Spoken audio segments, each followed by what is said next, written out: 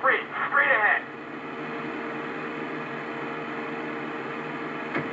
Slow your approach as you descend onto the road. If you touch down smoothly,